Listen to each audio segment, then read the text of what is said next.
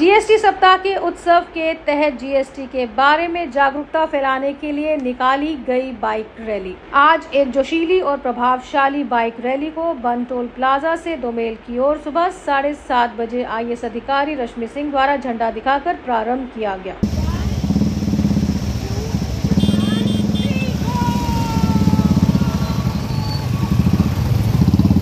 इस अवसर पर कई आला अधिकारी और कर्मचारी भी मौजूद थे। ये रोचक आयोजन स्टेट टैक्स डिपार्टमेंट द्वारा जीएसटी सप्ताह के तीसरे दिन आयोजित किया गया।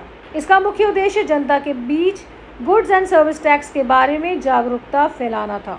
ये बाइक रैली जनता को जीएसटी के विभिन्न पहलुओं, लाभों और इसके अर्थशास्त्र पर शिक्षा देने के लिए एक अद्वितीय मंच का कार्य करती है। बाइक रैली बन टोल प्लाजा से शुरू हुई और ध्यान पूर्वक तैयार किए गए रूट के माध्यम से दोमेल की ओर बढ़ी।